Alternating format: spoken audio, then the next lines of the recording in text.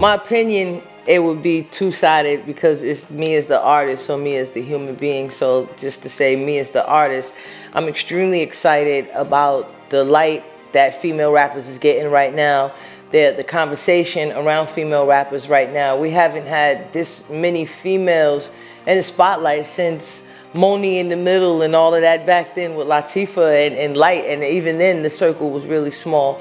Um, so I'm extremely grateful for how many people are out there doing a thing, and uh, so many people getting paid and being respected for what they do. And uh, whether you're on a major label or you independent, it's definitely space out here for everybody to eat. That's how I feel as an artist. As a woman, my age, um, I'm definitely disappointed in the message that we have when we have such a huge platform.